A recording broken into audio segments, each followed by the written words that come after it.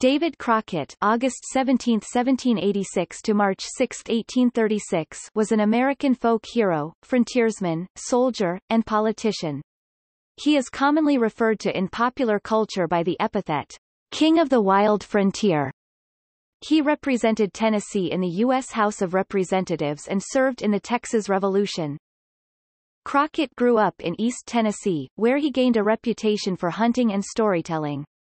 He was made a colonel in the militia of Lawrence County, Tennessee and was elected to the Tennessee state legislature in 1821.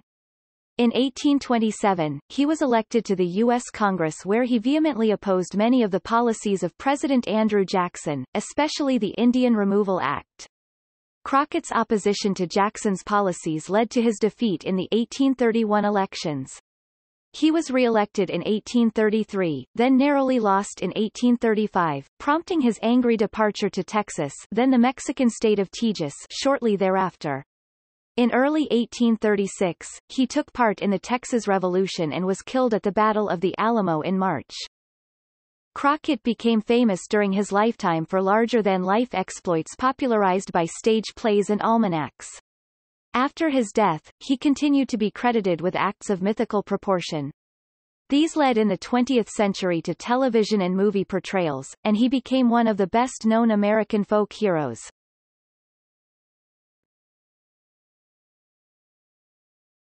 Topic. Family and early life The Crocketts were of mostly French Huguenot ancestry, although the family had settled in Ireland before migrating to the Americas.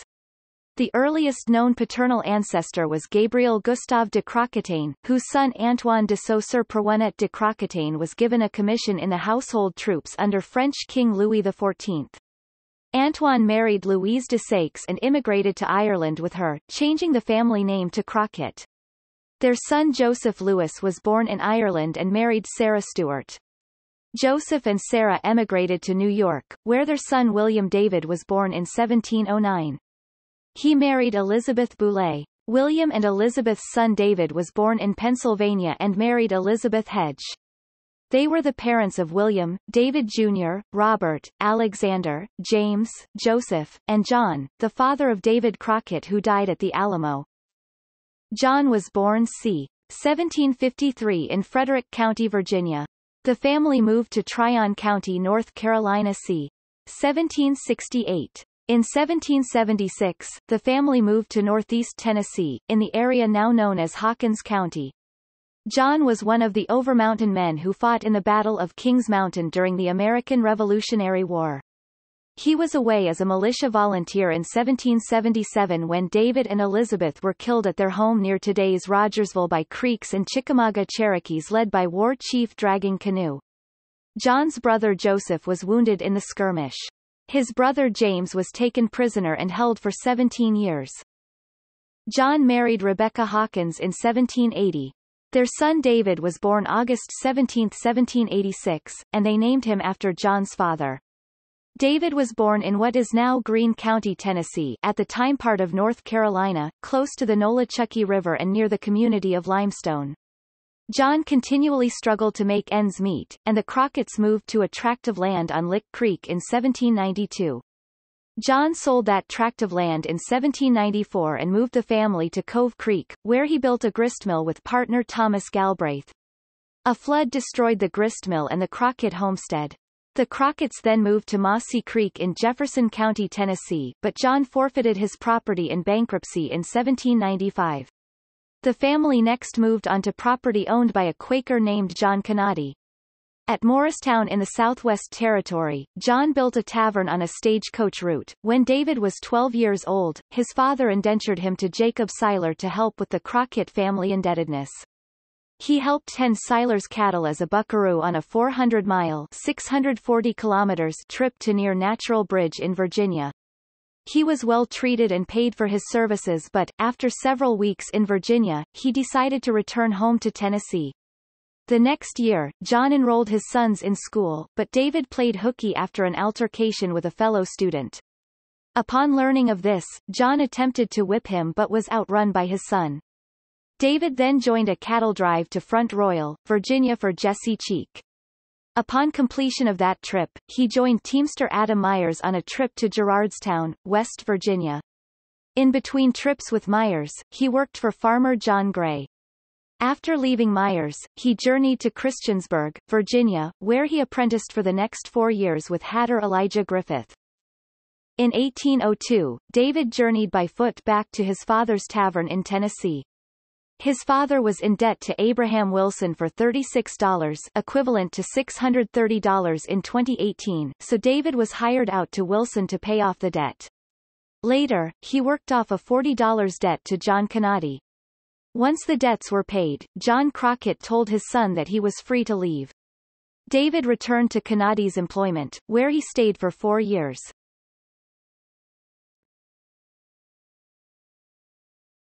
Topic. Marriages and children Crockett fell in love with John Canady's niece Amy Summer, who was engaged to Canady's son Robert. While serving as part of the wedding party, Crockett met Margaret Elder. He persuaded her to marry him, and a marriage contract was drawn up on October 21, 1805. Margaret had also become engaged to another young man at the same time and married him instead. He met Polly Finley and her mother Jean at a harvest festival. Although friendly towards him in the beginning, Jean Finley eventually felt Crockett was not the man for her daughter. Crockett declared his intentions to marry Polly, regardless of whether the ceremony was allowed to take place in her parents' home or had to be performed elsewhere. He arranged for a justice of the peace and took out a marriage license on August 12, 1806. On August 16, he rode to Polly's house with family and friends, determined to ride off with Polly to be married elsewhere. Polly's father pleaded with Crockett to have the wedding in the Finley home. Crockett agreed only after Jean apologized for her past treatment of him. The newlyweds settled on land near Polly's parents, and their first child, John Wesley Crockett, who became a United States congressman, was born July 10, 1807.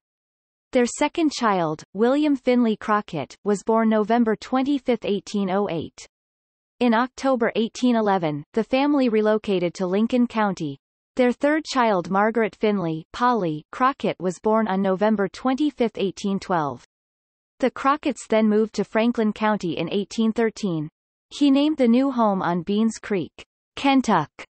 His wife died in March 1815, and Crockett asked his brother John and his sister-in-law to move in with him to help care for the children. That same year, he married the widow Elizabeth Patton, who had a daughter, Margaret Ann, and a son, George. David and Elizabeth's son, Robert Patton, was born September 16, 1816. Daughter Rebecca Elvira was born December 25, 1818. Daughter Matilda was born August 2, 1821. Topic. David Crockett family tree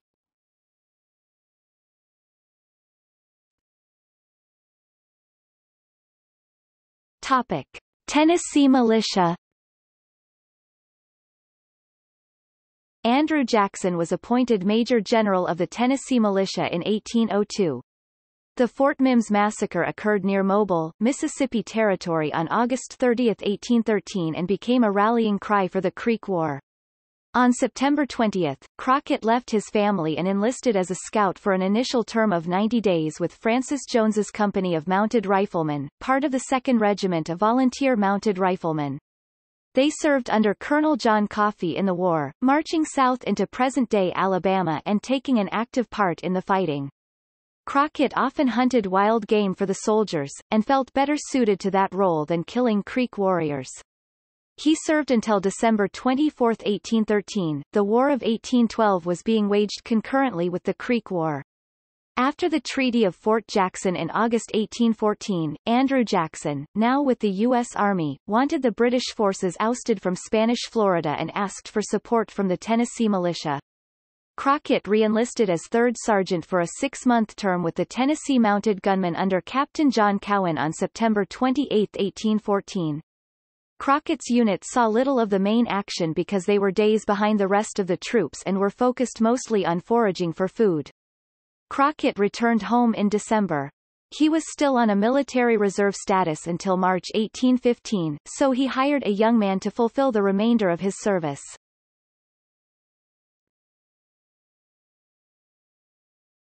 Topic. Legislative career In 1817, Crockett moved the family to new acreage in Lawrence County, where he first entered public office as a commissioner helping to configure the new county's boundaries. On November 25, the state legislature appointed him County Justice of the Peace. On March 27, 1818, he was elected lieutenant colonel of the 57th Regiment of Tennessee Militia, defeating candidate Daniel Matthews for the position. By 1819, Crockett was operating multiple businesses in the area and felt his public responsibilities were beginning to consume so much of his time and energy that he had little left for either family or business. He resigned from the office of Justice of the Peace and from his position with the regiment.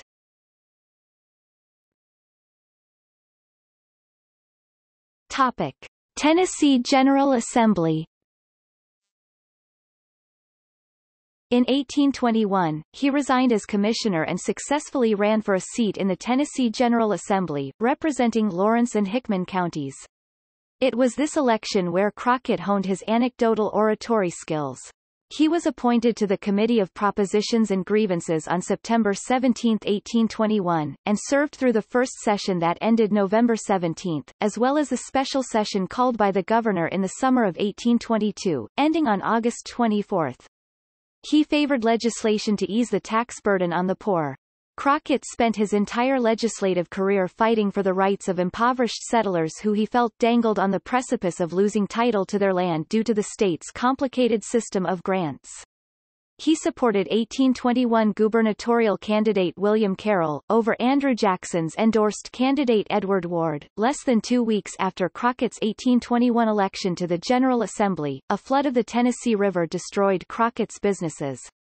In November, Elizabeth's father Robert Patton deeded 800 acres 320 hectares of his Carroll County property to Crockett. Crockett sold off most of the acreage to help settle his debts, and moved his family to the remaining acreage on the Obion River, which remained in Carroll County until 1825 when the boundaries were reconfigured and put it in Gibson County. In 1823, he ran against Andrew Jackson's nephew-in-law William Edward Butler and won a seat in the General Assembly representing the counties of Carroll, Humphreys, Perry, Henderson and Madison. He served in the first session, which ran from September through the end of November 1823, and in the second session that ran September through the end of November 1824, championing the rights of the impoverished farmers. During Andrew Jackson's election to the United States Senate in 1823, Crockett backed his opponent John Williams.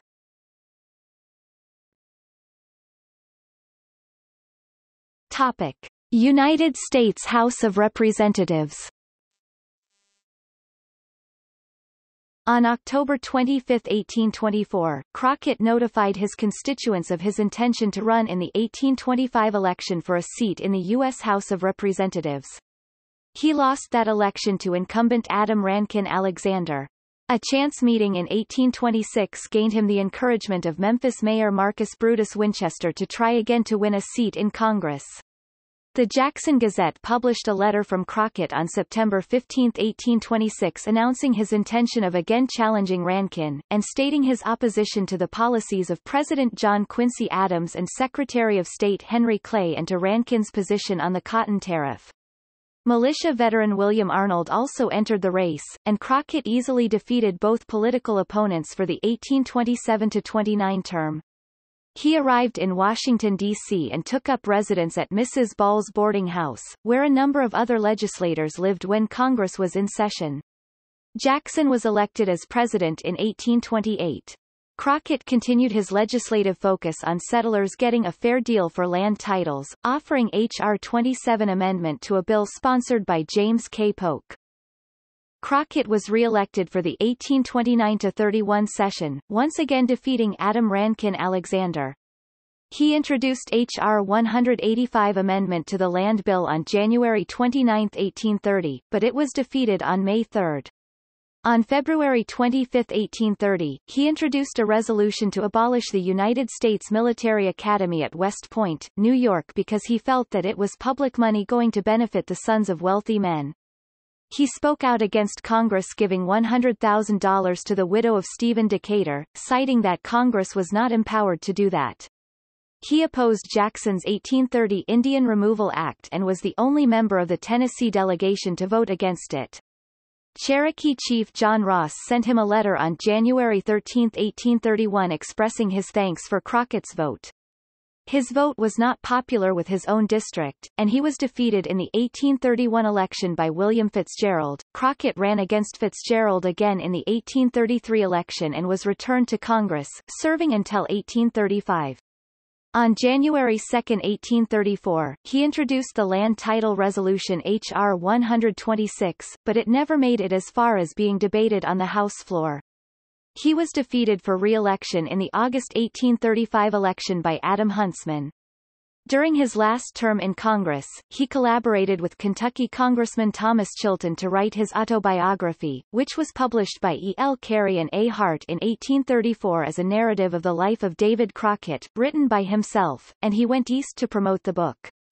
In 1836, newspapers published the now famous quotation attributed to Crockett upon his return to his home state, I told the people of my district that I would serve them as faithfully as I had done, but if not, they might go to hell, and I would go to Texas.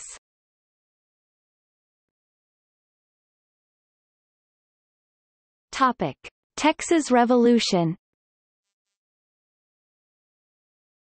By December 1834, Crockett was writing to friends about moving to Texas if Jackson's chosen successor Martin Van Buren was elected president.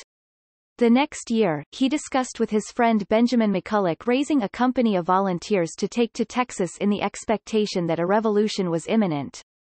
His departure to Texas was delayed by a court appearance in the last week of October as co-executor of his deceased father-in-law's estate. He finally left his home near Rutherford in West Tennessee with three other men on November 1, 1835 to explore Texas.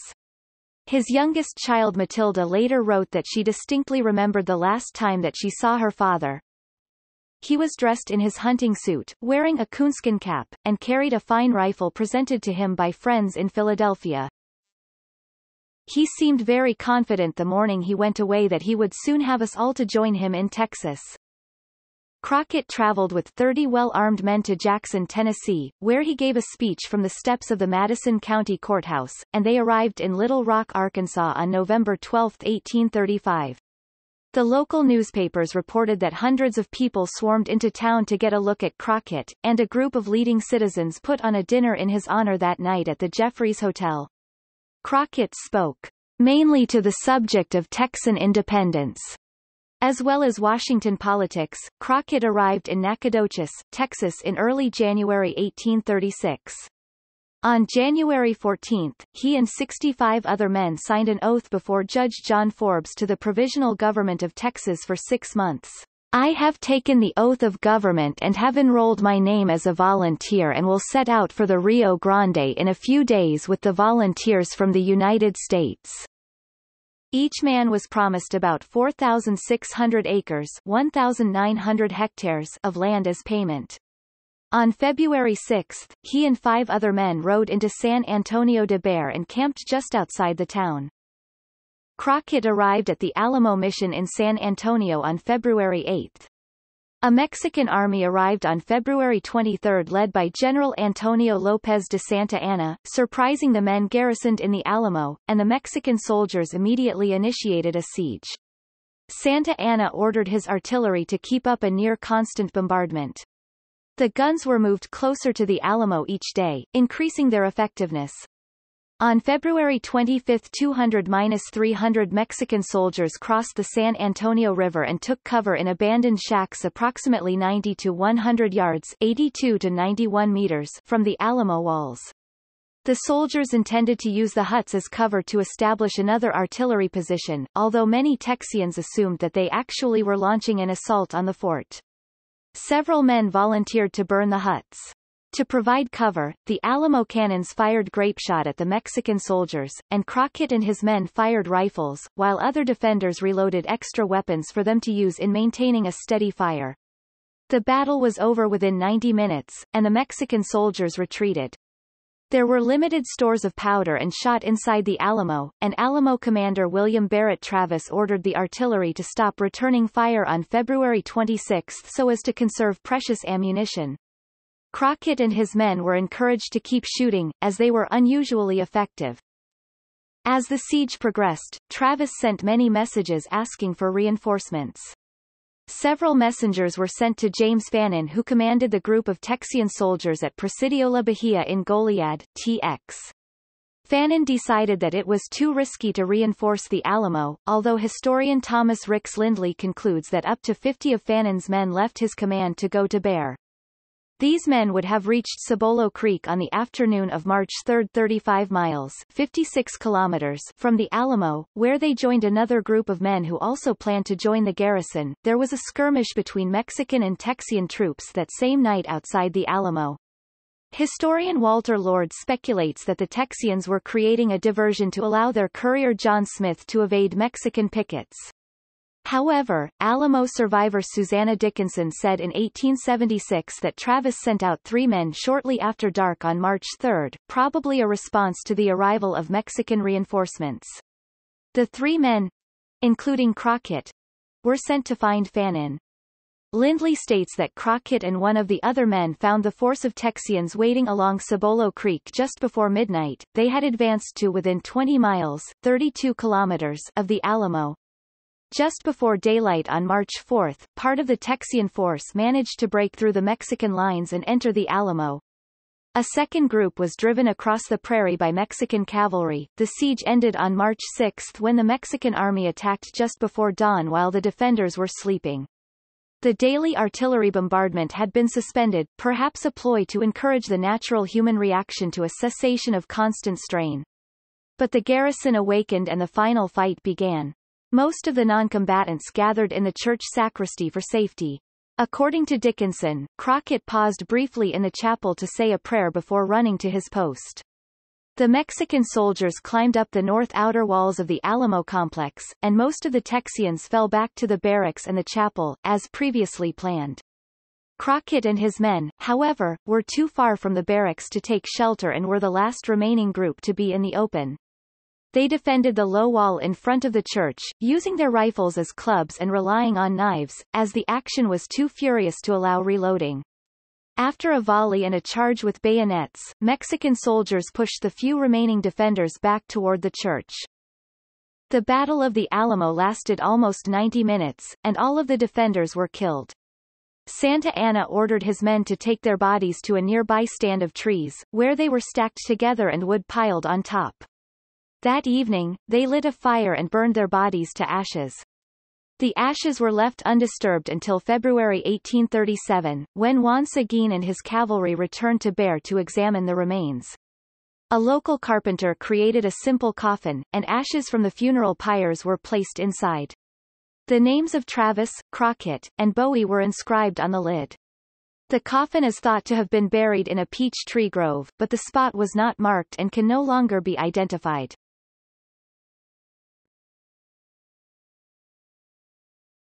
Topic. Death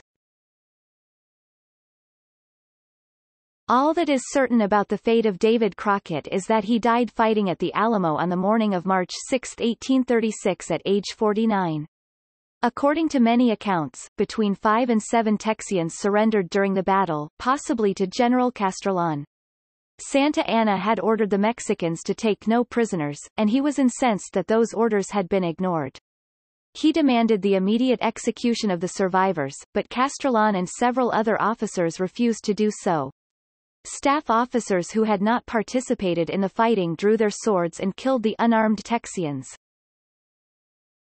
Topic controversy Weeks after the battle, stories began to circulate that Crockett was among those who surrendered and were executed. A former American slave named Ben had acted as cook for one of Santa Anna's officers, and he maintained that Crockett's body was found in the barracks surrounded by no less than 16 Mexican corpses, with Crockett's knife buried in one of them. Historians disagree on which story is accurate. According to Petite, every account of the Crockett surrender execution story comes from an avowed antagonist either on political or military grounds of Santa Anna's. It is believed that many stories, such as the surrender and execution of Crockett, were created and spread in order to discredit Santa Anna and add to his role as villain. In 1955, Jesus Sánchez Garza self-published a book called La Rebelión de Texas, manuscrito inédito de 1836 por un oficial de Santa Anna, purporting to be memoirs of José Enrique de la Peña, a Mexican officer present at the Battle of the Alamo. Texas A&M University Press published the English translation in 1975 with Santa Anna in Texas, a personal narrative of the revolution. The English publication caused a scandal within the United States, as it asserted that Crockett did not die in battle. Historians disagree on whether any or all of the book has been falsified. The original book was self-published, and no editor or publisher ever vetted its authenticity. Sanchez Garza never explained how he gained custody of the documents or where they were stored after de la Peña's death. Some historians have found it suspicious that Sanchez Garza's compilation was published in 1955, at the height of interest in Crockett and the Alamo caused by Walt Disney's television miniseries Davy Crockett. Groneman also points out that the journals are made up of several different types of paper from several different paper manufacturers, all cut down to fit. Historian Joseph Musso also questions the validity, likewise basing his suspicions on the timing of the diary's release. The document's most energetic defender has been historian James Crisp, who found an 1839 pamphlet by de la Peña in which the Mexican said he was preparing his diary for publication, proof that, if nothing else, the Sanchez Garza text had a historical basis. Finally, in 2001, archivist David Gracy published a detailed analysis of the manuscript, including lab results. He found, among other things, that the paper and ink were of a type used by the Mexican army in the 1830s, and the handwriting matched that on other documents in the Mexican military archives that were written or signed by de la Peña. Many have also questioned de la Peña's ability to identify any of the Alamo defenders by name. Many historians believe that de la Peña may have witnessed or been told about executions of some Alamo survivors, but in fact neither he nor his comrades would have known who those men were.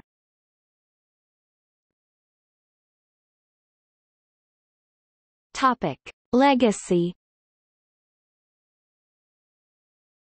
One of Crockett's sayings, which were published in almanacs between 1835 and 1856 along with those of Daniel Boone and Kit Carson, was, always be sure you are right, then go ahead. While serving in the United States House of Representatives, Crockett became a Freemason.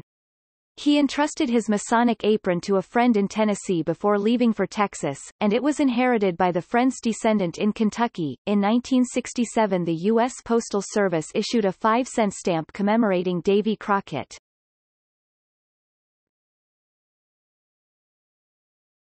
Topic. Namesakes Tennessee Davy Crockett Birthplace State Park, Greene County, David Crockett State Park, Lawrence County. Crockett County, Tennessee, its county seat is Alamo. David Crockett High School, Jonesborough, Texas Crockett County. Crockett, Texas, Houston County. Crockett High School, Austin Independent School District.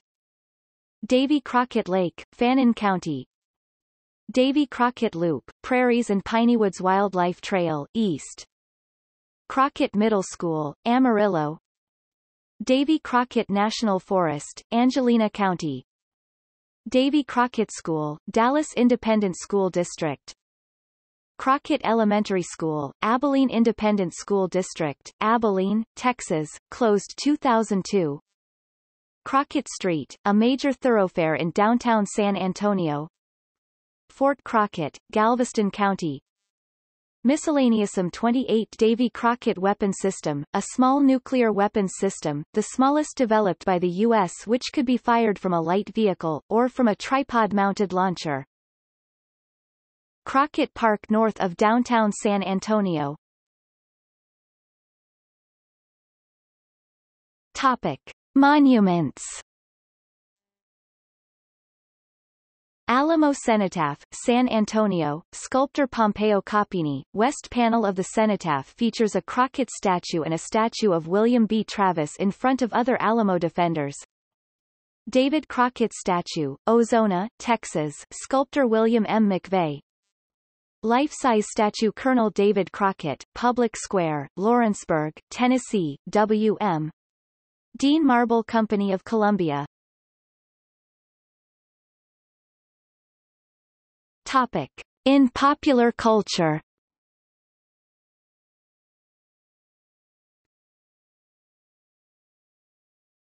Topic. Television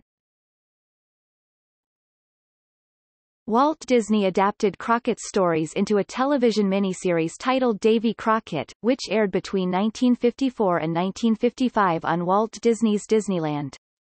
The series popularized the image of Crockett, portrayed by Fess Parker, wearing a coonskin cap, and originated the song, The Ballad of Davy Crockett, Crockett's stories were adapted by French animation studio Studios Animage into a 1994 animated series titled Davy Crockett. A 2009 episode of Mythbusters tested whether Crockett could split a bullet in half on an axe in a tree 40 yards away.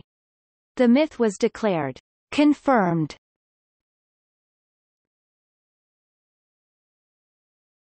Topic. Film.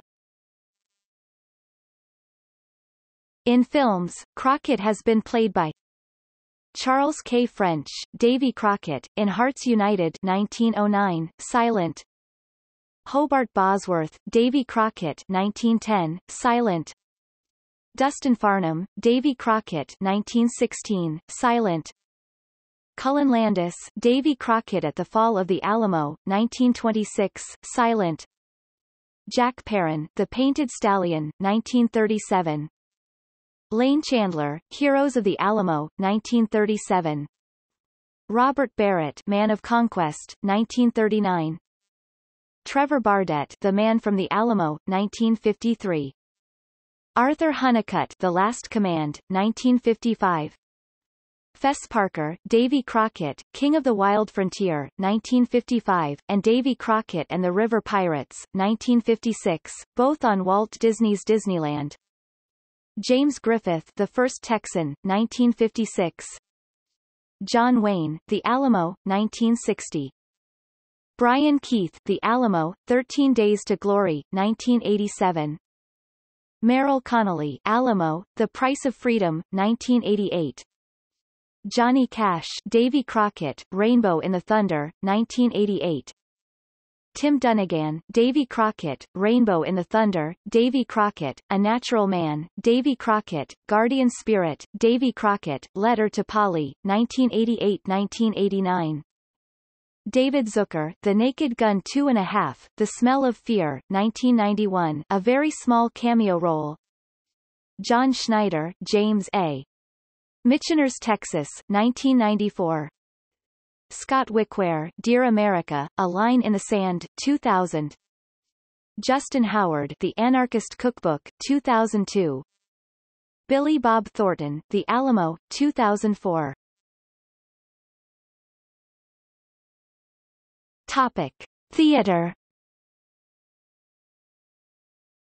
Davy Crockett 1872, popular touring play of its time, by Frank Murdoch, Davy Crockett, musical play unfinished, January to April 1938, Kurt Weill.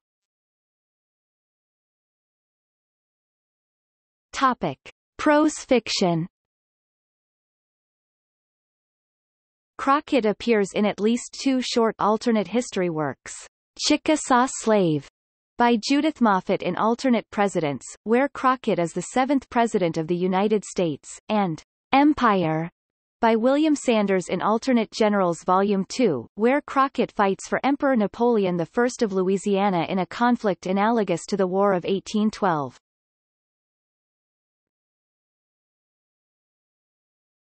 Topic. Comics Columbia Features syndicated a comic strip, Davy Crockett, Frontiersman, from June 20, 1955 until 1959. Stories were by France Herron and the artwork was ghosted in early 1956 by Jack Kirby.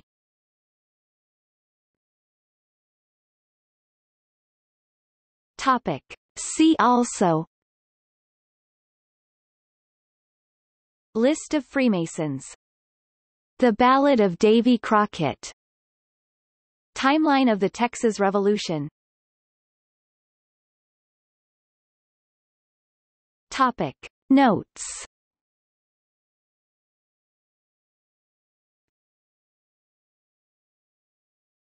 Topic. Footnotes. Equals equals equals citations